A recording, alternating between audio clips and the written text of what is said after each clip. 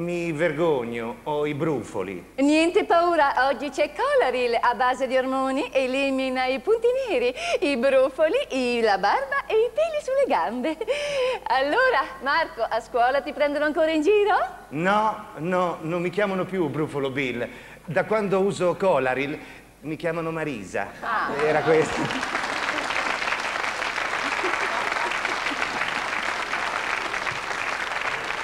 Io mi ricordo l'espressione tua che finiva con questa Sì. espressione un po' così.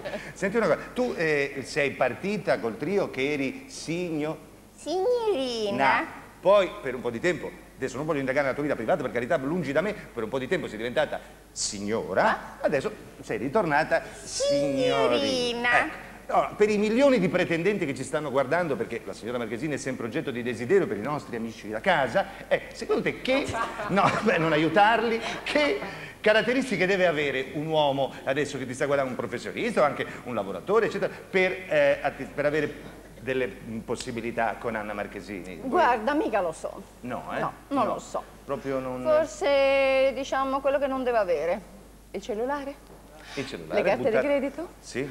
Poraccio. Ah, la panza? La panza? La- no, perché un po' raggio. No, una basta. che una? E poi... mm, Non lo so, deve saper sognare. Deve saper sognare. Sì. Però anche qui volevo chiudere la tua intervista facendo una cosa. Tu hai avuto una storia d'amore, una storia... dieci anni fa, tu hai illuso una persona.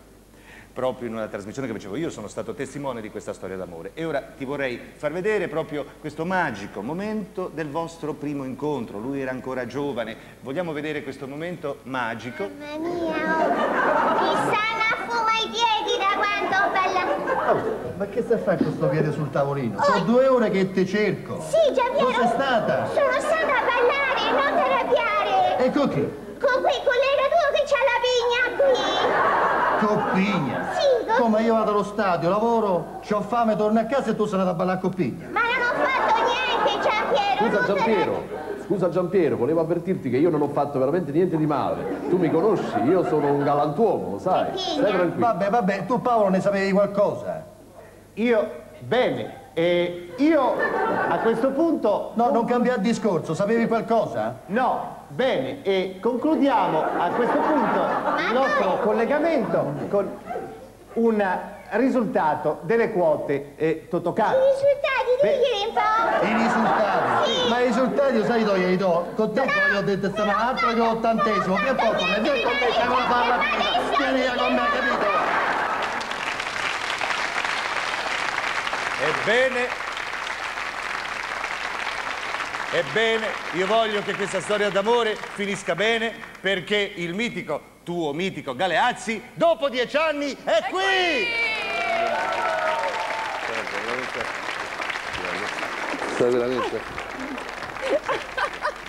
La, ecco, basta, no, così. È l'emozione, è l'emozione. Avevi più capelli, eh? Avevo più Leggevi capelli. il gobbo già allora, però avevi più capelli. Sbagliavo riga pure, ho visto. Sì, ho penso che ogni tanto. Allora, Lei mi faceva così, eh, tocca a te.